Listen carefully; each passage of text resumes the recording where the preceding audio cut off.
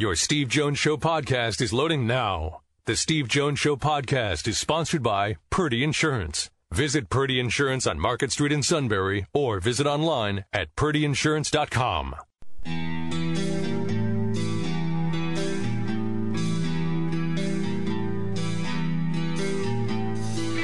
Sports talk where your voice counts. This is the Steve Jones Show on News Radio 1070 WKOK. Now, from the Sunbury Motor Studio, here's Steve Jones.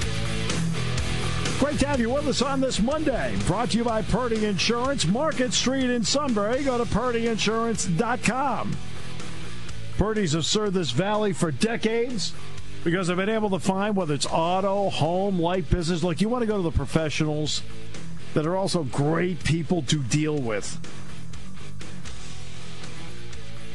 And that's Purdy Insurance. They'll find you the best price, the right insurance, and they will take care of that policy for you, update it whenever need be. They're always looking for any way to help you. It's Purdy Insurance, Market Street in Sunbury. Go to purdyinsurance.com. Pleasure to be in the Sunbury Motors studio. The great people at Sunbury Motors. Outstanding product, great sales staff, service department, second to none. All at Sunbury Motors, 4th Street in Sunbury. Sunbury Motors, Kia routes 11 and 15 in Hummel's Wharf. So I'm going to go to Iron Front, huh? On Market Street, August 21st. Our, annual, RSV... our little annual whoop-de-doo, that's right, yeah. RSVP. Did you see the RSVP part? I sure did. RSVP by August 14th. Kevin at kevinh at wkok.com. AKA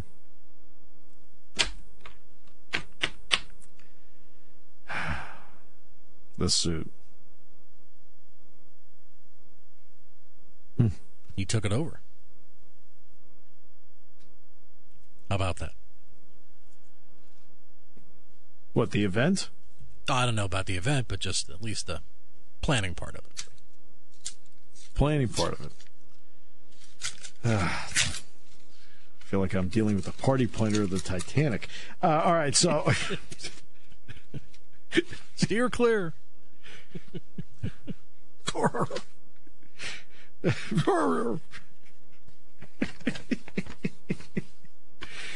Uh, yeah, our first visit to the Iron Front. Can't wait to go in and check it out. It's gonna be terrific. Yeah, I'm, I'm looking forward to it. I've been hearing rave reviews. I've been hearing rave reviews about that place.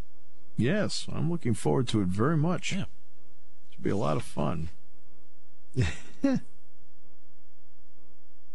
be great. All right, so Trevor Bauer fires the ball into the seats. Well, not to the seats. He threw it to center field. Now, do you realize from the pitcher's mound to center field how far it is?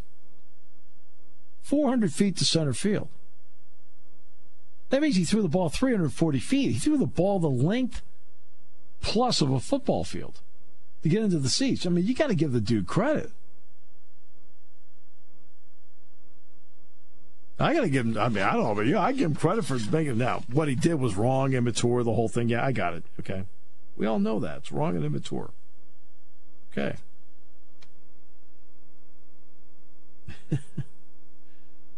but it was impressive. I'll say, in terms of how far he threw it, that was pretty good. That was pretty good. Quite the distance. At least you get uh, more of a more of a heads up right. that it's heading in, in, your direction with it. So right now, now, well, now he might end up being traded out of all this. I mean, let's let's be honest about it. I mean, he's still. I thought he was he was a trade possibility to begin with. And again, if you're in the playoffs, you don't want him near a drone. You remember that incident in 2016 where he cut his finger. I Remember, he's on the mound, the blood's dripping off his finger, his pinky. And how did he do that? Oh, this is how he did it. he tried to grab his homemade drone. Really? Oh.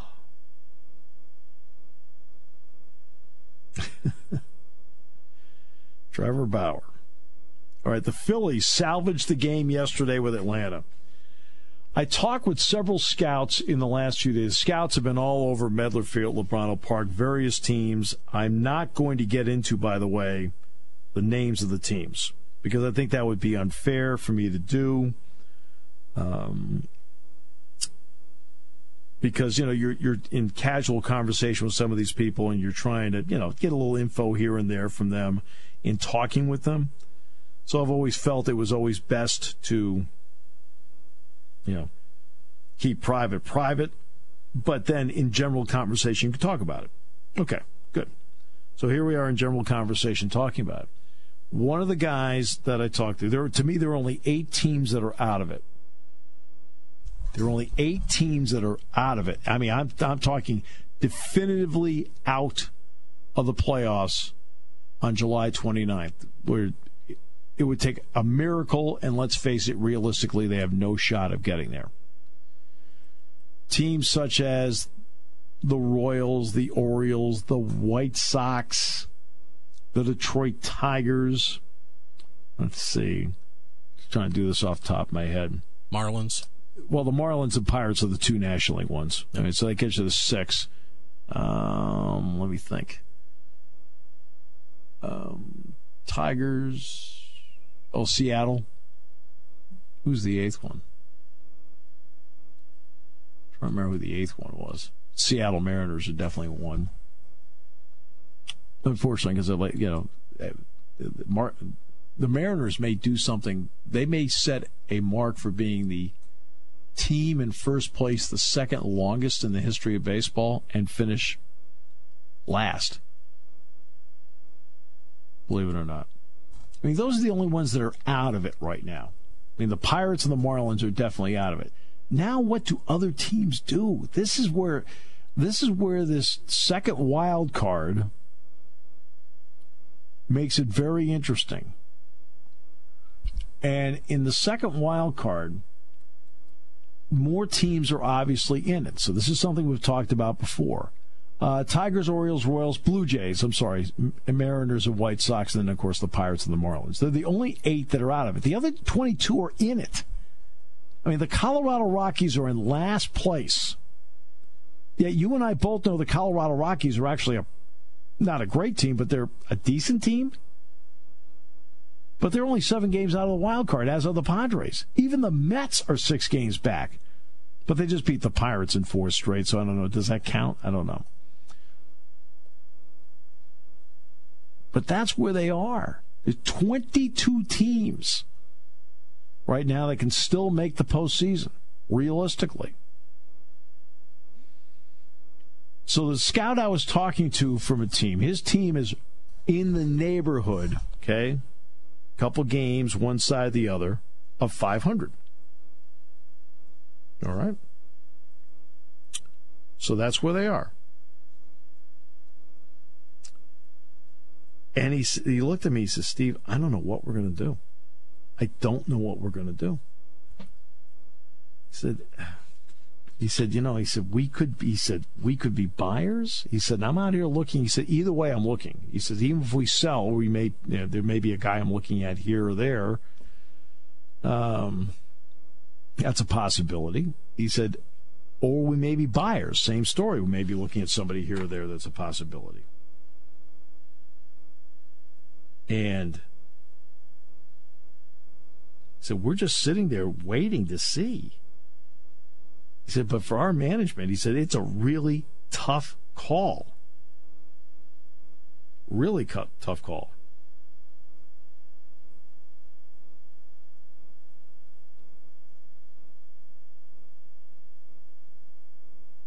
I mean, that's that's where they are right now. In that tough call area.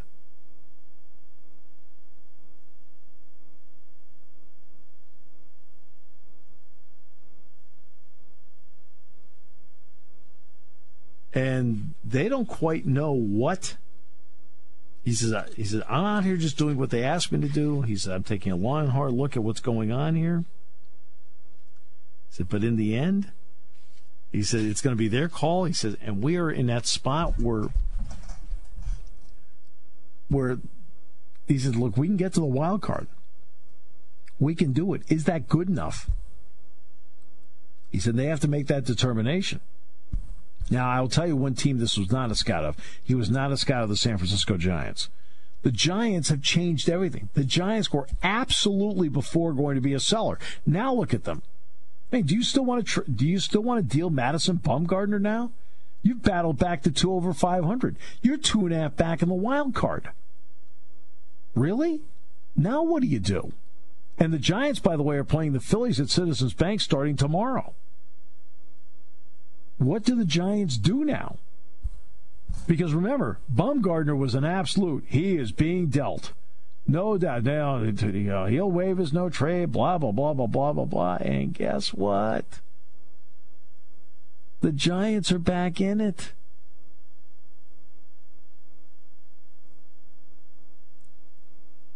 Mean, Bumgarner may be six and seven on the year, but guess what? He's got 140 strikeouts to 29 walks.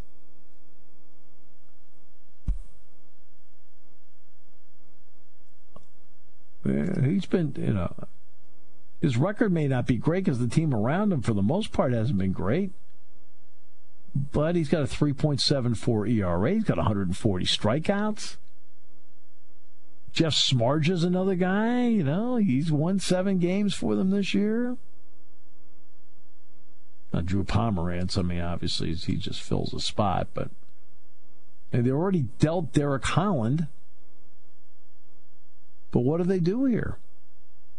I mean, Samardzija's ERA is 3.95. That's not bad. Bumgarner's ERA is 3.76. Not bad. They're, you know, they both are owed money, but the Giants are back in it. The Giants are two and a half back in the division. I mean, assuming the wild card, not in the division. They won't win the division. The Dodgers will win that. But what do you do? And you're the Phillies. The Phillies need another starter. That's obvious.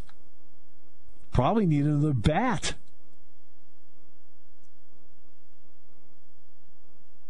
The Braves, the Braves weekend didn't work out well. They had to win yesterday to salvage the last game of the series.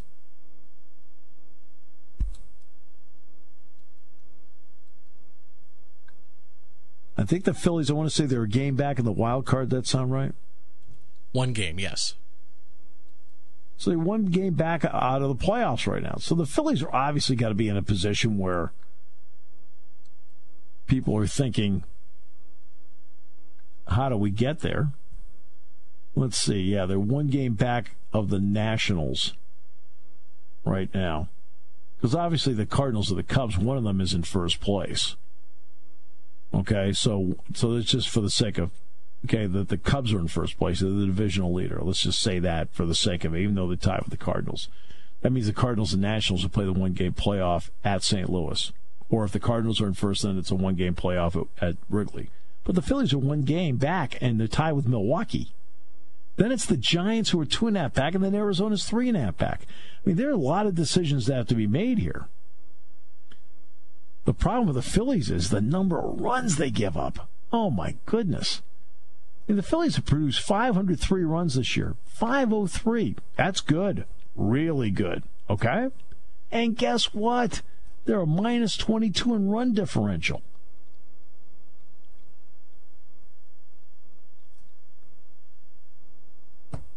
I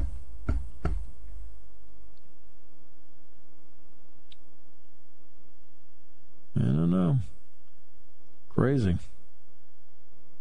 Second wild cards created all of this. But like you look, for example, let's look at some of these teams here. The White Sox. I think the White Sox are actually building a good young team. They're building a good young team. So they're they're going to get there. They're building a good young team, and I think they're on the path to down the road, not this year, but maybe middle of next year, respectability. Seattle completely mystifies me. I don't know. Toronto, I think, is right now just circling a fogged in airport. Kansas City's really struggling right now. Believe it or not, believe it or not, I think the Orioles, it may take three years, but they're actually building something organizationally that I think in three years you'll see Baltimore move. Okay, there'll, there'll, there'll be upward mobility there. Detroit, I don't know where they're going. The Marlins will eventually, in, in three years, be actually, I think, will be pretty good. The Pirates won't be. Yeah, the Pirates, the the two uh, the two hamstrung by by ownership. I mean, they got some really good people there, but they're too hamstrung by ownership. Simple as that. To get anything going, and not only that, but you know, part of the budget is I, would like to know how much, um, how much money they're spending on scouting compared to everybody else. Because what's critical to the Pirates to be successful is they must scout well, draft well, sign well. That really is the formula for them. Speaking of the Pirates, uh, they have uh, struck a trade with the Milwaukee Brewers. Uh, Great within the division, even better. Love it. Jordan Lyles, who was supposed to start for the Pirates tonight, he has been traded to Milwaukee in exchange for is it a, a, a bucket a bucket of balls? Uh, right-handed pitcher Cody Ponce. Did I pronounce his last name? Yeah.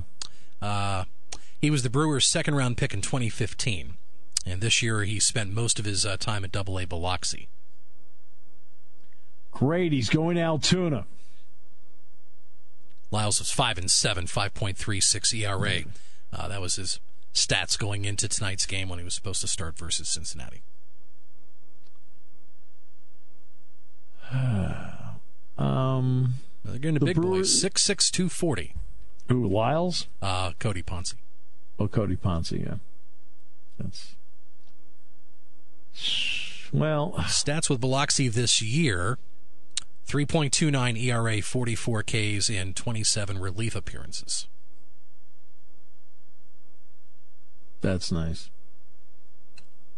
Look, you know how I feel about the prospect thing, right?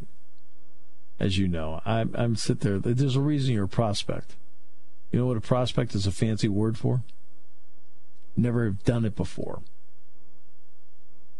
Doesn't mean he doesn't have potential. Doesn't mean that. Hey, yeah, you can have potential. I, I got, you know, at one point everybody's labeled as having potential. Jordan Lyles. Huh. It doesn't change the balance of power. No offense. I don't think there are a lot of people in Pittsburgh going to be upset that Jordan Lyles got traded. I mean, you know.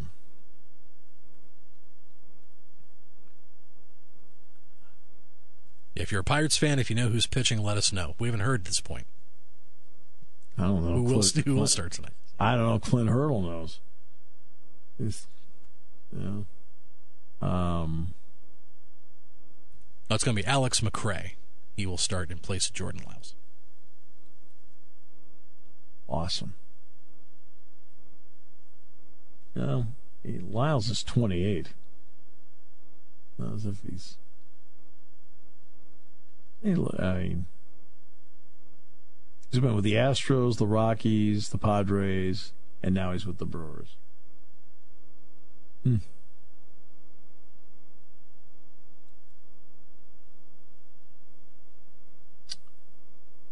Yeah. He's actually a first round. He was actually a first round pick of the Astros. You know that? Long, long time ago. Actually came up with the Astros. Then they sent him to Colorado. I wanted to, I think I think the Spikes faced him when he was at Tri City. If I think back on that. So I knew he wasn't part of the group that was here. That I did know. Um, and as for Ponce, uh,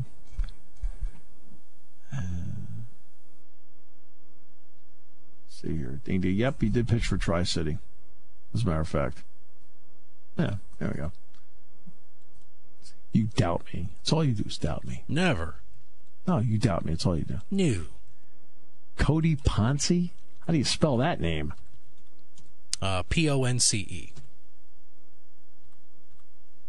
Okay. Uh, he's got a wild haircut. He's a big guy, six six, huh? 25 years old. Played college baseball at Cal Poly Pomona. Let's see what they acquired here. Uh, let's see. Yeah, you're one and three with three two nine. One for four in save opportunities. Four for seven in save opportunities in his career. I can see why the Pirates went after him. His last two appearances, he went one inning, gave up uh, two hits and a run. Last appearance, he went one inning, gave up two hits and two runs. That's exactly what the Pirates are looking for. In fact, his ERA has gone from 2.45 up to 3.29 over his last four appearances. His last four appearances, he's given up eight hits, five runs in five innings.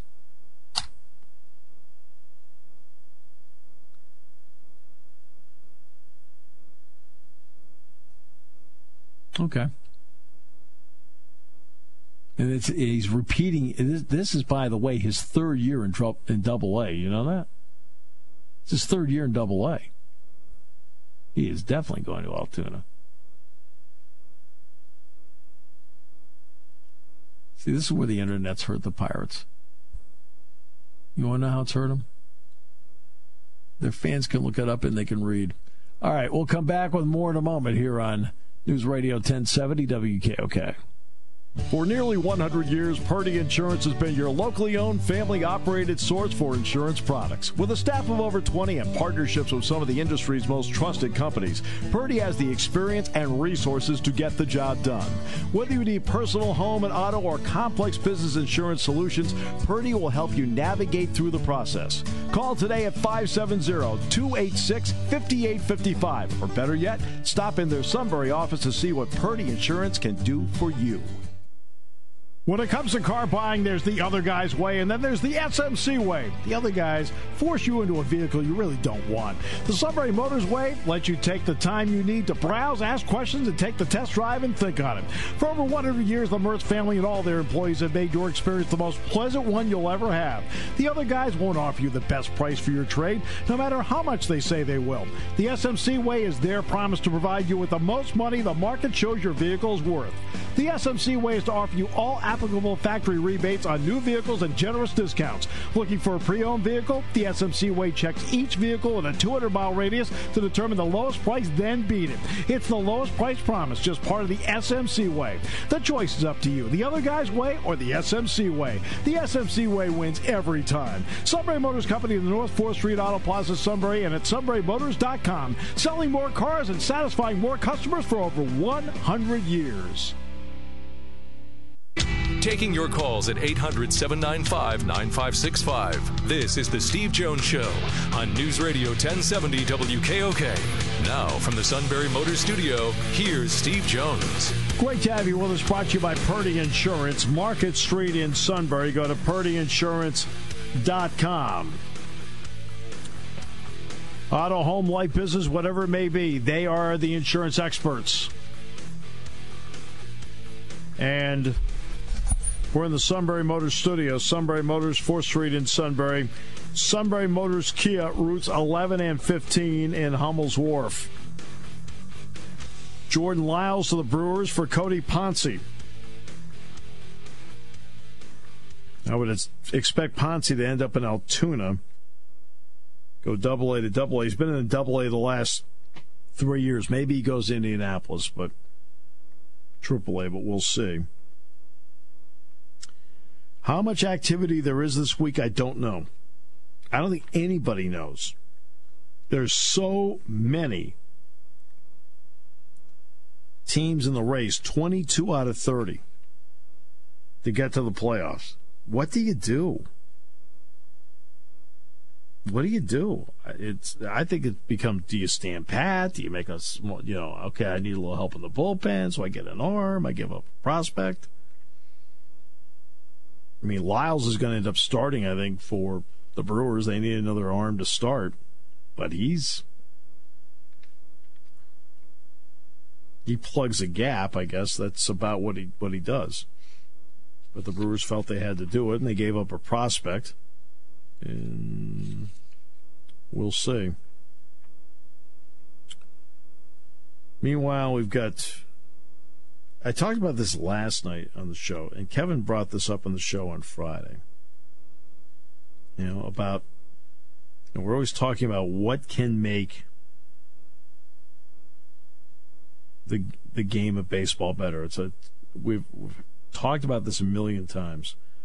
So I'll make it a million and one here for a moment.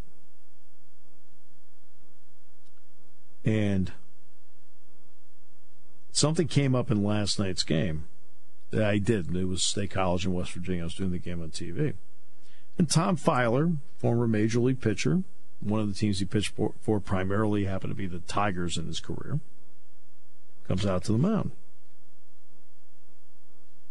All right, so he comes out to the mound. And he's not out there to take the pitcher out. And I pointed out that I think the only time you should go to the mound is to take somebody out. I was working with Josh Sperber at the time, and Josh disagreed with me, and that's fine. Josh, you're absolutely entitled to disagree with me. I mean, because this is one of those everybody has their own opinion. And I'm looking around. I'm saying to myself, man, there are 4,000 people here at the park tonight. Right now, you're wasting everybody's time. Okay? Everybody's looking out going, do something. He said, well, you know, sometimes you have to go talk to these guys. I said, well, guess what? I got every half inning to do that. I got every half inning to sit there and talk with you. I got nine built in breaks in the game. where you're in my when you're in the dugout with me.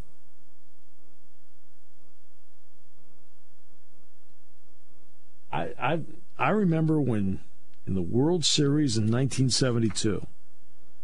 They've always had this rule where you get the two mound visits, but in the postseason World Series, you actually were allowed unlimited visits. And Dick Williams, who was the manager of the Oakland A's, abused it so badly where he was going out every it seemed like he must have made in an inning he'd make three four mound visits Changing pitchers left and right okay hmm, well, he wasn't breaking any rules wasn't breaking any rules at all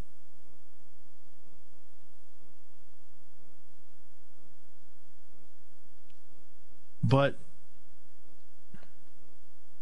they finally changed that rule after that World Series. I think it's got to get to the point where, like, no more mound visits. I'm sorry, no mound visits.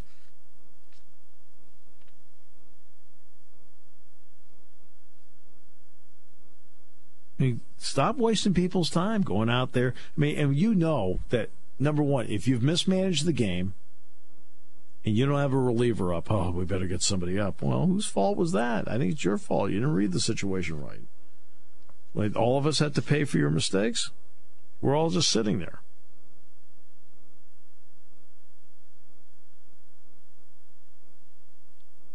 And I just don't, you know. Baseball's got to find, it has to sit down and figure out what is wasting our time as fans. And mound visits happen to be one of those where they're wasting time. Now I know you have the six the six visit rule now. But remember the six visit rule does not include taking the pitcher out. And to me, the only time there should be a mound visit from the dugout should be when it comes time to take out the pitcher. It is the only sport of the four major sports where management is physically on the field.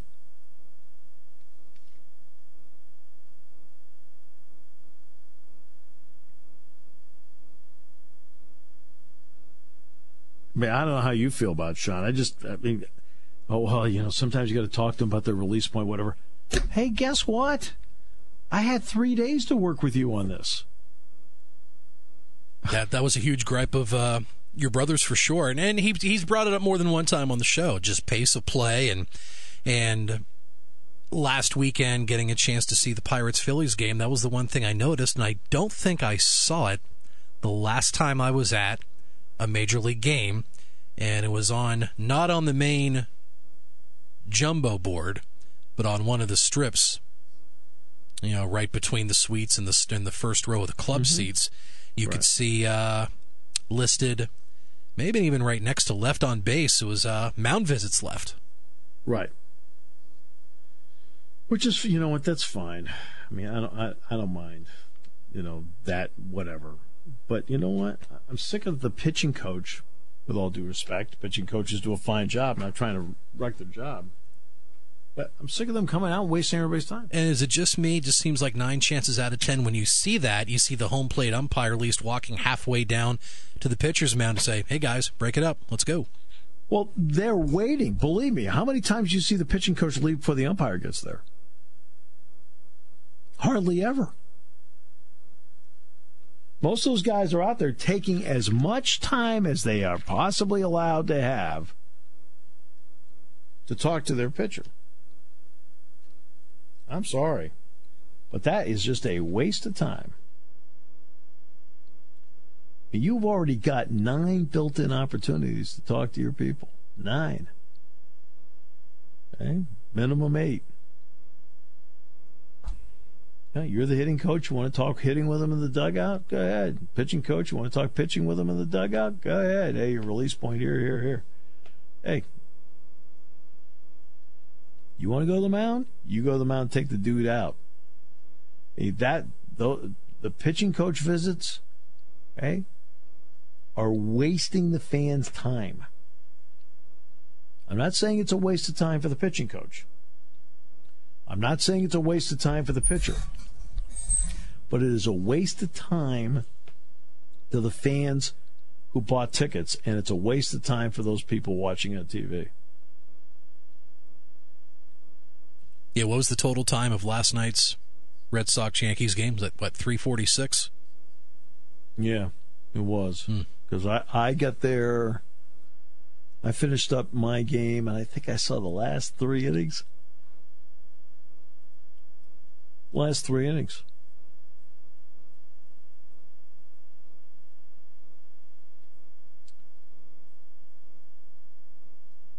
And, you know. With a cameo appearance by uh, Jennifer Lopez in the broadcast booth, stopping by with a birthday cake for A Rod. okay, great. I, I, I saw a picture of it online today. I was like, are you kidding me? Really?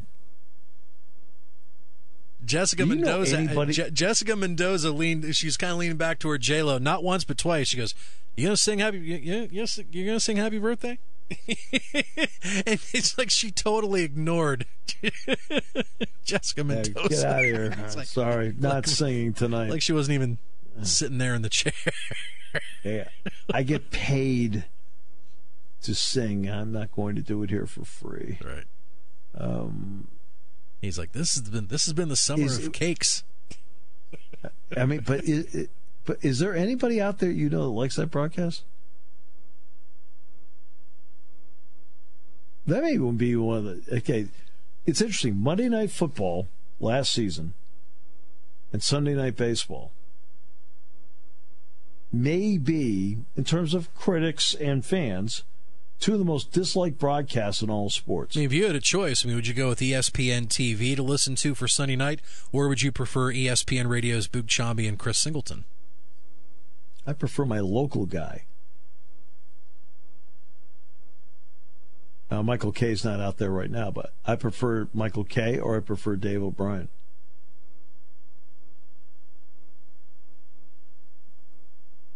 They're there every day. They're just better. I what's really interesting is that the two most panned broadcasts right now, panned, are Sunday are, are Monday Night Football and Sunday Night Baseball. And what do the two of them have in common? Same network. ESPN. And to be honest with you, part of it is,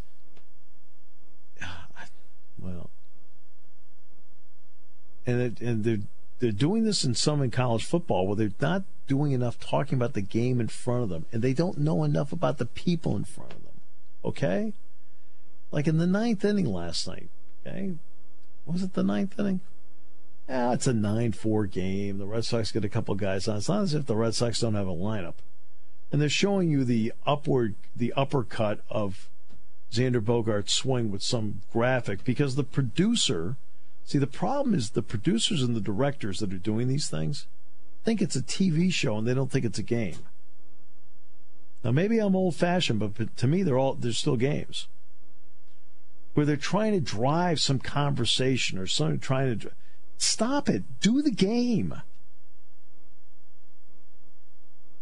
I'm not so sure ESPN knows how to do the game anymore.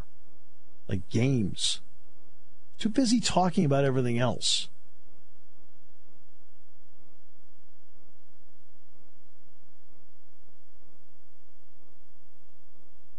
Everything's always about something else that's going on. It's never about what's in front of them. And uh, to be honest with you, Sean, it's just, or some gimmick. You know, we, we got this way of showing you his swing. We're gonna the producer forces it in. We're gonna have to look at it now. It's like, oh my goodness. So you got you got a couple million hostages sitting there looking at some graphic that means nothing. Well, when it comes to replays, what have we seen over the past few years? You get those Axis replays, 360. That means now it's nothing. all now it's like exit velocity, speed of the ball going out of the yard. I mean, those are nice add-ons.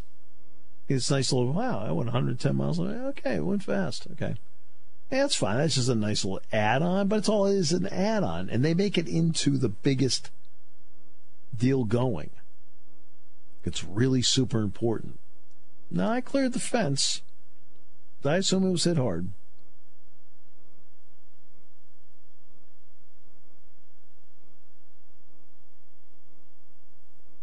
Well, you're right with add-ons. you'd think, uh, but back then though, you think, okay, that's information that I would find on Sports Center when I get my highlights. Right. But now it's now it's well, like commonplace. Yeah, now it's yeah part of the live broadcast every night. Yeah, it's part of the game. I mean, we get that at, at our games. We'll get distance of home run, exit velocity. But like they're just to me, it's just like color add-ons. Uh, it's it's not the major wow thing. I mean, there was last night was a ground ball that was hit sharply underneath the glove at third, and I got the exit velocity on the ground ball. It's like, all right, that that's fine. I mean, he's on first. That's like the most important thing. I, you know, That's why I like what I do. Like, that's why I like what I do, Sean. Like, Jack and I, Dick and I, Joe Putnam, we just do the game. Yeah, well, we have a little fun here and there with something, but we do the game. We don't really care about all the other mumbo jumbo. We don't sit there and go, hey, let's talk big picture about the college football playoff. Every ESPN broadcasting college football has to talk about the college football playoff because, of course, they carry it. So now you got to go through like, oh, hey, really, Brock Huard, whoa, you're top four. Okay, here's one over here in the corner. I don't care. I'm trying to watch this game. I don't know a lot about Washington State and Stanford. Tell me about them.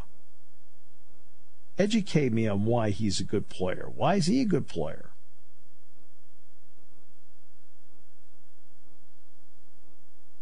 I mean, the Yankees and Red Sox are easy for me. I know a lot about both teams. But what if the Sunday night game last night happened to be San Diego and Texas? I know a little bit about San Diego. I know a little bit about Texas. But educate me. Tell me more about them.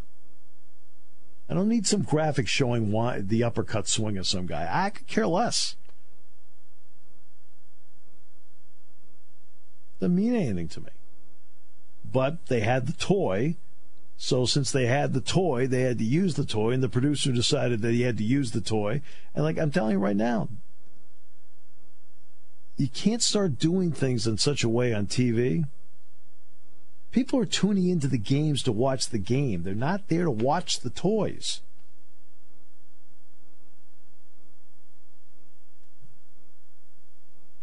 You can't get to the point where you're starting to ruin the experience.